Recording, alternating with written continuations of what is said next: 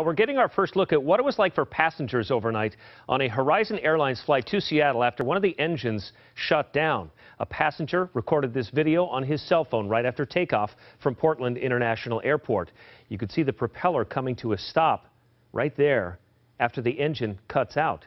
The pilot went back to PDX, landed safely. Passengers say this is an experience they will never forget this huge explosion, then all of a sudden everything stopped and it just got totally quiet and everybody started to panic and every phone was out. so we're all just thankful to be back.